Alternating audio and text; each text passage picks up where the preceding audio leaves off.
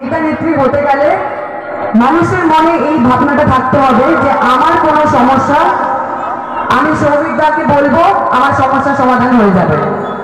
তাই তো, তবেই তো সে নেতা। যেমন মমতা বন্দ্যোপাধ্যায় বলেছে যে কৌশলী মুখার্জিকে আমি হাওড়া ডিস্ট্রিক্টের দায়িত্ব দিয়েছি কৌশলী হাওড়াটা দেখে নেবে পঞ্চায়েত নির্বাচনে। তবেই আমি নেত্রী, শুধু জিন্দাবাদ করলে আমি নেত্রী হতে পারব না, এটা আমি মনে করি। তো আমার মনে হয় যে এই